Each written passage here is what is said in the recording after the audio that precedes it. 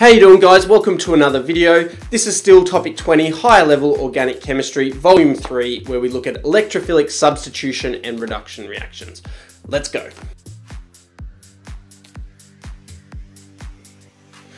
Okay, volume three, electrophilic substitution and reduction reactions. We look at the reactions of benzene substitution and we look at reductions of acids and ketones. The IB understandings, applications and skills focus around electrophilic substitution of benzene and we need to know the mechanism. We also need to understand the mechanism for the reduction reactions of alcohols and ketones and know the reagents that we need to use. So the benzene ring, like a double bond, has a high electron density owing to the presence of the pi electrons in the ring. That high electron density means it is able to be attacked by electrophiles to form a carbocation intermediate. So here I've got three different representations of benzene. Each of them is acceptable in the IB program, but the one on the right with the circle represents that we have delocalization within the ring. Those pi, those pi bonds they have formed above and below the ring, so the electrons are able to move freely in those regions. A carbon to carbon double bond is stronger than a carbon to carbon bond in benzene, but it's, it is also stronger than a carbon to carbon single bond.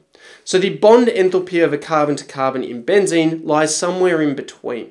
So that means it's got a resonance structure, and the resonance structure just describes how those electrons can move around in that ring. So the nitration of benzene is an example of an electrophilic substitution reaction. Benzene is warmed with a mixture of concentrated nitric and concentrated sulfuric acids and in the process forms the nitronium ion. So when we have those two things, we have an equilibrium process and the nitronium ion is what will undergo the substitution reaction with benzene. It has a positive charge, it's electron deficient, so it's known as an electrophile that electrophile is able to attack that high electron density of the benzene ring. So the NO2 acts as an electrophile, attacking that benzene ring to produce a carbocation intermediate where the delocalization in the benzene pi electrons is disrupted. So here we have our benzene with its delocalization inside the ring. And then when we add in our electrophile, our nitronium ion, that is able to attack that high electron density of the ring. Now I'm showing the hydrogen here because that's going to be involved in the leaving group. That hydrogen will leave. So the electrons in the ring are attracted towards that electrophile which have uh, which are seeking electrons. And what happens is we form a carbocation intermediate where the nitronium ion is bonded to the benzene ring. So we have dotted lines to indicate that the delocalization has been disrupted, but it is still partially there. There still is delocalization in the other sections of the ring. It's just where we formed this area where a carbon now has four bonds, it will be slightly disrupted. Because it's a carbocation, it also has a positive charge. What will happen then is that the carbocation will be able to kick off the hydrogen or eliminate the hydrogen, leaving the, nit the nitro group attached to the benzene ring. Then it will re-establish its delocalization, so we now have nitrated the benzene ring. So what will happen is the carbocation, it will kick off or eliminate the hydrogen atom from the ring, allowing a covalent bond to form between the carbon and the, the nitro group, and then that re-establishes our delocalization in the ring. The pi electrons are maintained, and then we have a nitrated benzene. This results in what we call a nitrobenzene molecule, and we've lost a hydrogen ion. Once we've formed nitrobenzene, we can reduce that even further to form an amine, phenylamine, by heating it with a tin catalyst and hydrochloric acid. The initial reaction produces an amine salt. So we have our nitro group, and then we react that with tin and concentrated hydrochloric acid, and now we form an ammonium salt of the phenylamine. Once we form the ammonium salt, we need to get rid of its acidic properties by doing an acid-base reaction with hydroxide to form our phenylamine. So we react it with OH minus to form that phenylamine.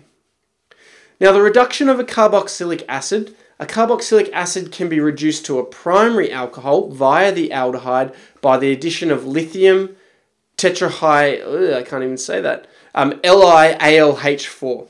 Now, LiAlH4 is the only chemical we can use to reduce a carboxylic acid to a primary alcohol. It's the only one that will be strong enough to do it.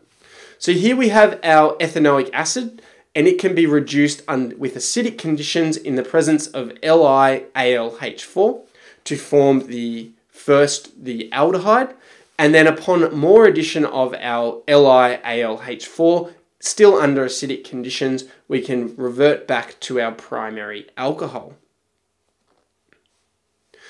A ketone can be reduced to a secondary alcohol via the addition of either two chemicals, LiAlH4 or sodium, or sodium borohydride. Now, the LiH4 can only be used for the reduction of a carboxylic acid to an alcohol. When we have a ketone, we can choose to use either, either LiAlH4 or the sodium borohydride. It's a safer option if we were asked to use one to convert the ketone to the alcohol, but it can't be used to convert a carboxylic acid. It's not reactive enough. So butanone can be reduced to butanol via either of these two chemicals but we would choose to use the sodium borohydride because it is a safer chemical and we want to keep our green chemistry in mind. So butanone can be reduced to butanol via the addition of the sodium borohydride. Butanone has a formula CH3CH2COCH3 and then we add that into our we add that with our NaBH4 under acidic conditions again and then we can form the secondary alcohol, which would be butan 2-ol.